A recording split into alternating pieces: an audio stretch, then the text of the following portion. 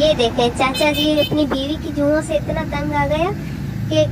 सड़क पे ही जुए निकालना शुरू कर दिए